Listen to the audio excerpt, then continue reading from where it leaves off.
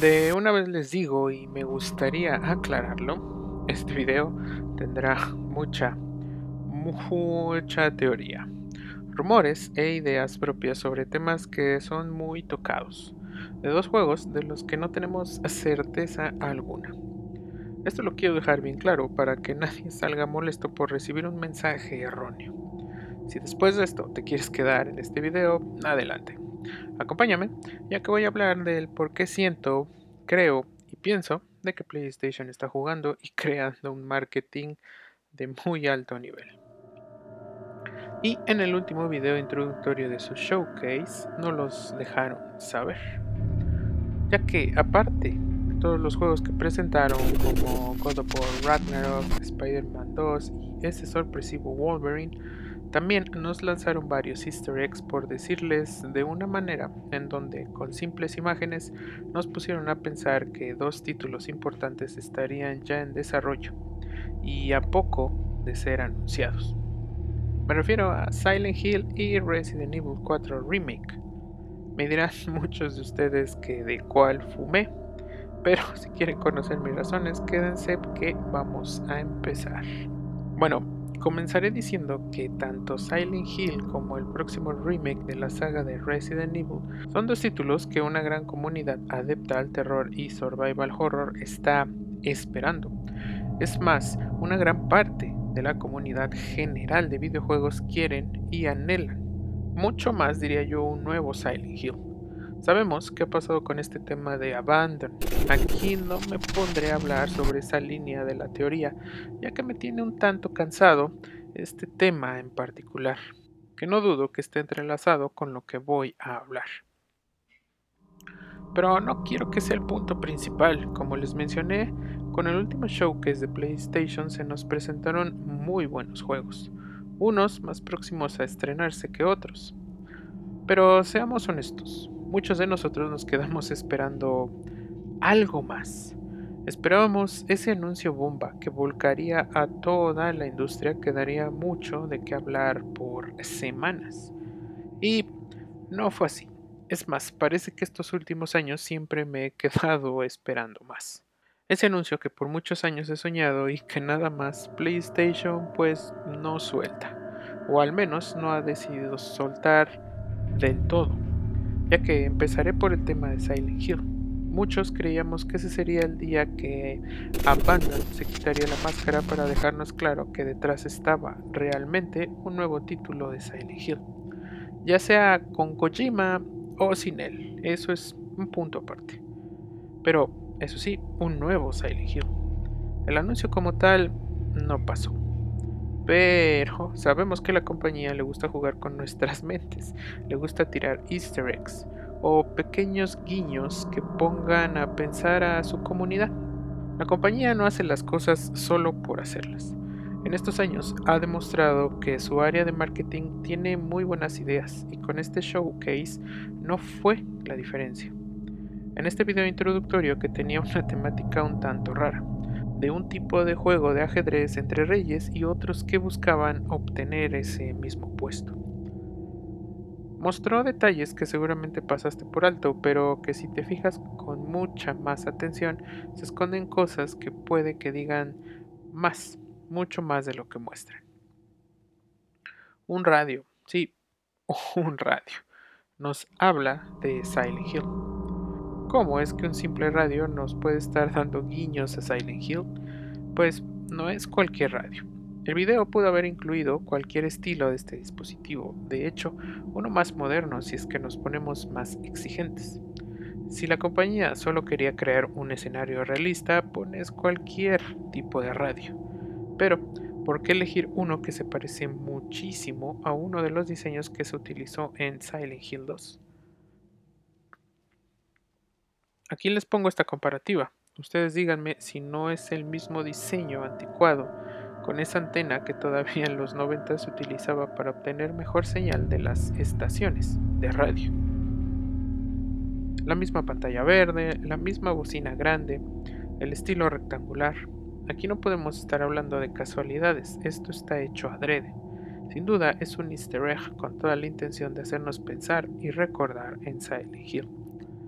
¿Qué manera tan retorcida puede ser esta de la compañía de jugar con nosotros? ¿Qué planes hay detrás de todo esto? ¿Será que sí estamos cerca de ver un anuncio nuevo de Silent Hill? Todo esto es un plan muy pensado y tal vez sobre realizado para presentar uno de los juegos con mayor expectativas de regreso de todos los tiempos. ¿O será que todos seguimos viendo cosas donde no las hay? ¿Será que nuestro deseo por este título ya sobrepasó los niveles normales y sea lo que sea que veamos, lo vamos a interpretar dependiendo de nuestras ansias por algo nuevo? Yo ya he salido más de una vez decepcionado por estas ideas que me hago. Vengo esperando este anuncio ya por muchos años, pero parece que siempre sale algo que revive esa idea de que está pronto de volver mi juego favorito. ¿Ustedes qué piensan? ¿Creen que esta es una manera de PlayStation para decirnos que sigamos siendo pacientes? Que Silent Hill llegará en su momento, que ya se está realizando un nuevo título, o solo fue una manera de dar tributo a una de las sagas más geniales de todos los tiempos. Ahora, del lado de Resident Evil 4 Remake, el cual, a diferencia de Silent Hill, es mucho más probable que llegue o se muestre antes, porque sabemos que a diferencia de Konami, Capcom le está dando un trato mucho, muy amoroso a una de sus mejores o la mejor IP de la que es dueña. Tenemos Resident Evil para dar y repartir, desde remakes hasta entregas nuevas. Aquí no me queda mucha duda de que un próximo remake está pronto a ser anunciado. Más porque Resident Evil Village ya tiene un tiempo adecuado que en que salió al mercado, para que la compañía nos muestre lo próximo que tiene en puerta. Se dice que estamos entre un remake de Resident Evil 4 y la siguiente entrega de la saga Revelations, llamada Outrage, en donde Rebecca Chambers sería la protagonista. En este video, así como lo que mencioné de Silent Hill, también se nos dio un guiño más que claro a un símbolo muy representativo del videojuego, y me refiero a este logo o símbolo de los iluminados, este tipo de iglesia que lidera Sattler. No hay más, es el mismo logotipo. Aquí de nuevo nos preguntamos por qué elegir este símbolo. ¿Por qué no el de Umbrella o cualquier otro de la gran cantidad de entregas que tiene la saga? ¿Por qué en particular algo de Resident Evil 4? PlayStation sabe qué quiere su comunidad. La compañía sabe las necesidades que los jugadores tienen. Que muchas veces no hagan menciones sobre estos temas es otra cosa, pero ellos saben. Siguen estos rumores, ideas y teorías que salen a diario dentro de la comunidad y hacer esto solo aviva el fuego y da razones para que nosotros sigamos generando esas mismas teorías y rumores. En lo personal, aquí sí me atrevo a decir que es más claro el guiño. Aquí PlayStation nos está queriendo decir de forma muy indirecta de que Capcom está trabajando en este remake y que más pronto que tarde veremos por fin el anuncio de este título. Sabemos que tanto Capcom como PlayStation están bastante cómodos trabajando juntos. Capcom por ahora prefiere mostrar sus nuevos títulos con la compañía azul. Un punto que quiero aclarar es que además de estos dos guiños, durante el video tuvimos muchos otros más, ya sea de Pac-Man, de Final Fantasy, Castlevania, Dragon Quest, Tekken y muchos otros más. Así que no fue algo especial solo tanto de Resident Evil 4 y Silent Hill guiños hubo muchos, así que también cabe la posibilidad de que fueron easter eggs inocentes para hacer tributo a todos estos juegos que le han dejado mucho a PlayStation y pues nada más. Ahora, el próximo evento sobre noticias y anuncios fuertes de videojuegos es el Tokyo Game Show, en donde las compañías japonesas a veces guardan anuncios importantes de sus próximos títulos o actualizaciones de los que ya se estrenaron. No nos queda más que seguir esperando para saber si alguna de estas teorías se vuelve realidad.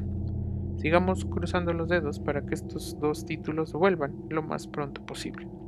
Será una muy buena época para los juegos de terror y survival horror.